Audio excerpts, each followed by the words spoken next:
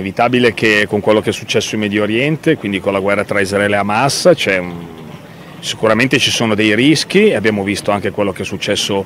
ieri in Belgio, quindi insomma è chiaro che ci sono degli aspetti che vanno controllati, mi sembra di capire anche visto gli arresti che sono stati effettuati proprio oggi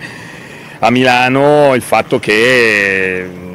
da parte del governo del Ministero dell'Interno ci sia grande, grande attenzione. Noi avevamo fatto anche un'interrogazione parlamentare su questo argomento e il Ministro Piantedosi aveva risposto che ci sarebbe stata una grande attenzione proprio per cercare di fare in modo che possano essere prevenuti in qualche modo eh, questi rischi di, di, attentati. Insomma, è chiaro che eh, nella manovra c'è la conferma dell'operazione Strade Sicure, dell'assunzione anche di, di